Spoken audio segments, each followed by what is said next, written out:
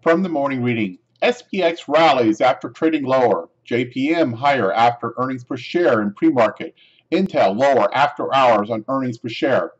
All nine sectors moved higher on Thursday. XLE, XLV, XLK were the strongest sectors, while XLP was the weakest sector. Oil rose. Breadth strengthened as advancers led decliners 2.07 to 1 on the New York Stock Exchange and 2.18 to 1 on the NASDAQ. Uh, the SPX and INDX found support early Thursday morning as short-term bottoms were formed and prices rebounded sharply. 410 stocks in the S&P 500 rose on Thursday. 28 out of 30 stocks in the Dow Jones rose, with oil stocks CVX and XOM leading. Quite a change from the day before. Hello, this is Stephen Harris, the head trader from Falcon Global, where we model best practices for investors, traders, and day traders from entry to exit every trading day. In this daily video, I provide my opinion and insights of current market trends, market timing, volatility, and hedge risk levels for the upcoming day for the key U.S. financial markets. It is 5.56 a.m. Central Time, and I am recording this in preparation for the market day of January the 15th, 2016. Full disclaimers are at the end of the video, but be aware that this is for educational purposes only, and only you are responsible for the investing or trading decisions that you make. So let's dive into the key highlights on today's market report. First of all, we have a big, big, big down overnight. And in fact, um, on the S&P futures, we're down at the time of this cut over 30 points, about 1.6%. Russell futures down even more, 1.77%. NASDAQ, the weakest, down 1.84%. And the Dow is actually holding up the best, 1.58% drop. Crude oil crushed, down 4.48%. Euro up about 0.3%, bonds up about two thirds of a percent, as is gold up about 0.7%. Overseas action is not any better. China down 3.5%, Hong Kong down 1.5%, Japan down half a percent, Germany down 1%, and United Kingdom down 1.27% terms of macroeconomic activity for today in the U.S., we have a big slate both pre-market and during market hours. Core retail sales, PPI, retail sales, Empire State Manufacturing, FOMC member Dudley speaking, capacity utilization rate and industrial production, followed by preliminary University of Michigan consumer sentiment, and a couple other minor reports associated with that. So um, as you can see, there's a full slate of day uh, on the macro report side, so anything can happen during the course of the day as those reports are digested. In terms of volatility, we continue to uh, be quite volatile, really, but not an awful lot of relative fear given the amount of price movement that we've had or the amount of weakness. We have short-term VIX at a 25.57. I imagine that is going to pop this morning. And indeed, the current um, VIX well, it won't open until the cash opens. Let's see if we can. We'll take a look at the chart here on the VIX futures in just a second. Uh, standard deviation move was put in yesterday. Um, so we have back-to-back -back standard deviation moves with a two standard deviation down move followed by a one standard deviation up move. It would seem that we're going to then follow that with a two or even um, uh, perhaps a one, but probably another two standard deviation move to the downside. In terms of the short-term VIX, we got that at over 25. We have skew also very, very elevated coming in just below 140. IV percentiles are middle of the pack at 48 for the S&P, 48 for the Russell, 46 for the NASDAQ, and 50 for the Dow. Let's go ahead and pop into those charts. And I went to the futures contract because we had so much overnight movement. And if we had just looked at the SPX, we would we get a very different feel. This feels quite bullish. It's like, oh my, there's a reversal in play here, a big bounce. You know, or is this the bottom? Were we close enough to these prior supports? This is the bottom. We need to start, you know, perhaps um, scaling into some positions that we wanted to get, and um, off we go, and all is good in the world. Well, instead, if you look at the overnight futures, you see this picture here. And let's dial into this area of most concern. You had the big two standard deviation down move where you had the breakdown. You'd had something of a potential uh, reversal set up that was confirmed. You could have even said that um, perhaps we're getting ready to break that diagonal resistance and um, kind of set up for a potential bottom combination. But no, that was invalidated right away and significantly lower lows. That then, of course, was followed by, you know, a, a big um, a reversal pattern here, big one standard deviation up move.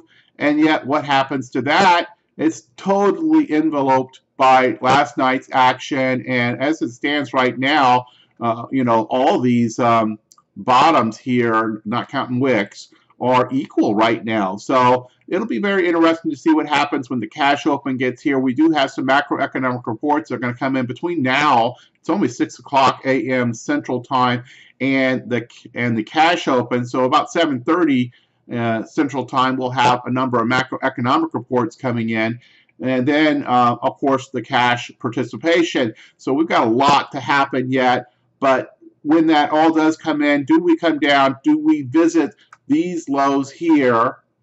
And uh, once we finish with those lows, do we go down to the 1831 August low?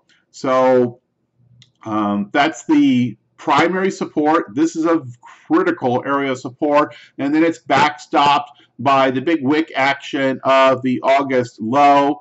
And um, does that come into play? If those two break, then this gets much, much uglier uh, likely. Because you see here, while we do have a small wick here with a backstop a few points lower, uh, so I guess we could say we have two backstops. But once we get past that, then we go probably into full out bear market going for the 20% down or perhaps even greater potential. So um, this is not the time to be trying to pick at uh, long positions. If you're a novice trader, most retail traders should be standing aside on the initiation of anything in this kind of environment. This is the catching the falling knife kind of scenario where things can really get ugly and really start moving.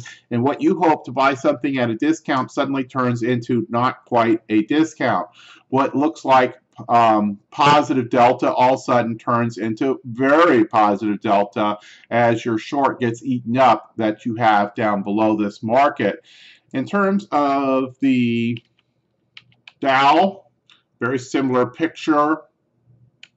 In Q, similar picture here. What's different is the Russell. The Russell is decidedly weaker and having already you know, with the prior action, uh, came in quite a bit lower. Let's get back to dailies here, make sense of this. Um, we had a little bit of that bullish harami yesterday, but that's been totally enveloped now, and we're just we're out here, and and there is no real support anywhere nearby. I mean, if you start putting at these little bull flag patterns and calling that a support area, uh, to me that's a pretty good stretch. That's not really a swing bottom. The way I think of it is, is like this one here, where we've had a made, uh, you know, an intermediate term swing bottom. These are kind of just short-term trading patterns and, and not really one to point to as significant support. So the Russell probably will find support not by some sort of horizontal pattern or even fib extension, but more likely just because of sheer exhaustion and a value proposition. So kind of keep that in mind. Let's go to the VIX futures. Um, so far, it would seem to me that while we're certainly getting quite elevated, we're up over 25, and, and that just doesn't happen that much. In fact, let's go to the weeklies here. You know, we just don't have that many examples of being in this area. You had the August lows where you got up over 30 for a brief period of time. It would seem that we're heading back for another similar spike. at the same time, it just seems like um, we should have had more pronounced, coming from lower, going higher, more pronounced change with this kind of weakness. Uh, it's elevated, but not as fearful as you might think. So we continue to think that this might not be a huge move down. Um, but we'll continue to watch as the situation develops because this is uh, obviously, you know, a major, major pullback.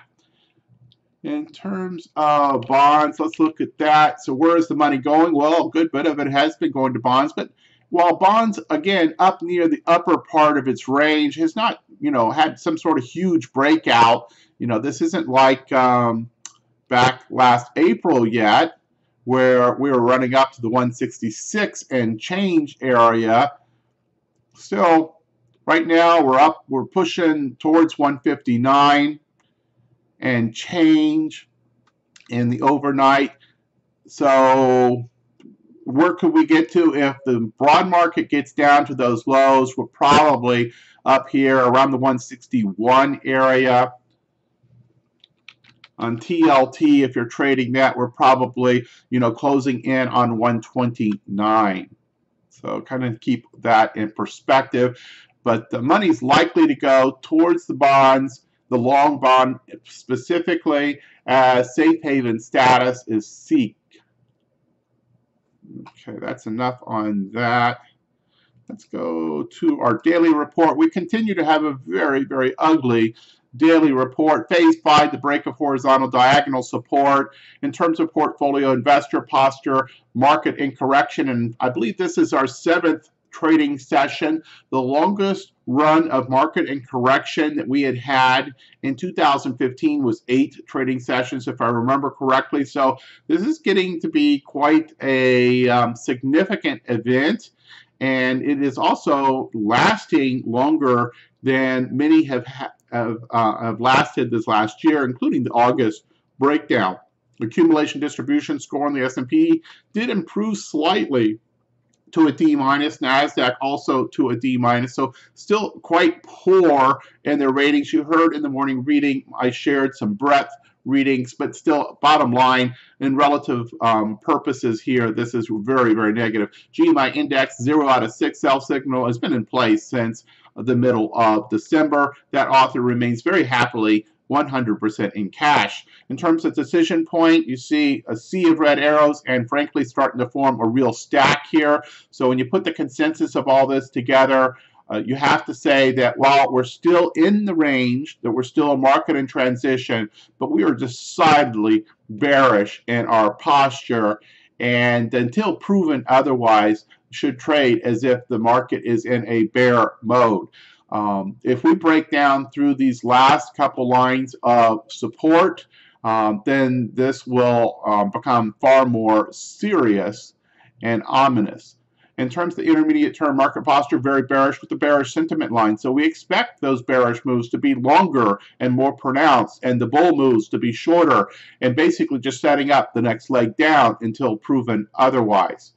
And in fact, if you're a novice trader, uh, the wait until the hedge warning status drops or we have an IBD move to market in um, confirmed uptrend or we have um, our intermediate term market posture turn bullish until you see some real strong signs that this has uh, really put in a bottom you should treat any any kind of bounce, just like yesterday. That looked like a big bounce. It looked wonderful. Everybody was kind of excited, but uh, it just served up uh, another round of shorts to be loaded up and take this down for another leg. So until you see those signs, and we never had any of those signs yesterday or in the last bear flag pattern, uh, until you actually see those signs firm up, uh, probably best to wait and keep your powder dry, stay very, very patient in this kind of a market and not get run over in a knife falling down. In terms of intermediate term market posture, you see all four indices are severely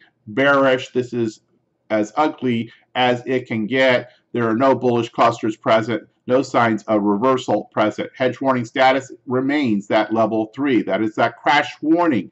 That is the potential risk uh, is elevated and that the um, potential for the market to fall and fall very hard with large delta and large vega moves is very much present.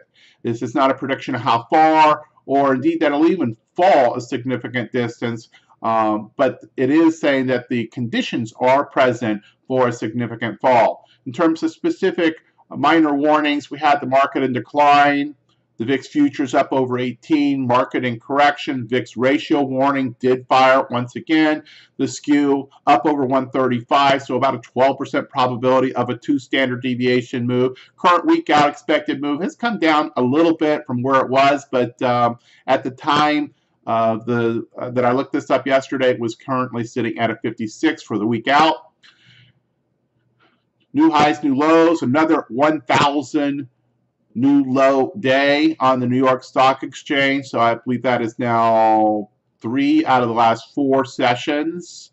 So very, very ugly. All five key intermarket risk aversion indicators are flagging as risk off. Fear and greed index in the extreme fear area at a 17. All special opinions are outside the acceptable window to initiate new positions for novice traders and really in terms of short to intermediate to even long-term bullish trades uh, should probably all be held in reserve on your watch list, looking for your setups, but holding back the powder until more appropriate entries. More aggressive traders, uh, you know, may seek to take advantage of these elevated premium conditions that we are currently having, but just know that you need to have plenty of trading capital available because outsized delta and vega moves are very much possible. In terms of sector specific, it's a sea of red. Only utilities holding up at, with any kind of um, you know substance and of course that's the most defensive sector so that doesn't tell you much about being a bull uh, in terms of utilities, it is note to, uh, of note to see just how that is holding up. Uh, if you look at some of the most important components in the XLU, you generally see, you know, um, they're up about two, maybe even three percent. Doesn't sound like a lot, but if you're up even one percent in the face of a market in that same time frame, perhaps being down by seven percent, you know, that's that's a like almost 10% spread between the two. So while everything can go down in a real bear market, including utilities, it will not necessarily be positive. It will certainly most likely stand up much, much better. And of course, it pays a nice dividend, those kinds of things. So it's often a place where people park money, as are consumer staples. Uh, not quite uh, as strong at being able to hold up, but it will probably hold up far better. So when you start to see those bottoms, those kinds of sectors, you know, maybe of interest. The other place, of course, is bonds, the long bonds, and REITs, uh, like IYR, are places where people will find relative safety in bear markets if that's what we develop into. In terms of percent change, you see yesterday was a big day, and it was very much about the energy play, also healthcare, information technology. You know, it looked like this high beta stuff to a large degree was up here at the top and uh, and driving this performance. But um, that's the kind of things that happen in bearish markets. You get these rip your face off bull days. And keep in mind that the largest bull movements are often in the midst of bear markets. So uh, this can be um, disconcerting for those who are trying to figure out where the bottom is and they keep seeing this kind of price action. They think the bottom is in. They're not looking for more objective measures or more confirmed measures, and they turn around the next morning and, like today, they see everything just evaporate in front of them as the market legs down to another level. That should be enough for today we're almost 20 minutes, so we're going to go ahead and wrap this up. If you find what you're getting from here is useful to your trading, like us on YouTube, subscribe to us on the YouTube channel, perfectly free, and you'll get an update when content is posted. Retweet us to your Twitter followers, to your StockTwit followers, etc. I'll scroll through these next sections. If you want more information on some of these special offers, just follow the hyperlink to get the details.